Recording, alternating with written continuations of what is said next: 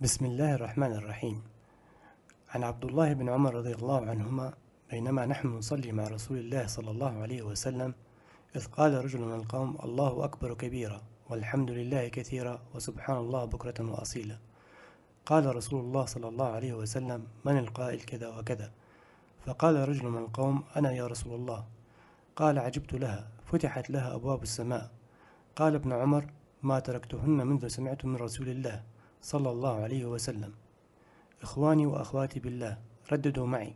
الله أكبر كبيرا والحمد لله كثيرا وسبحان الله بكرة وأصيلا.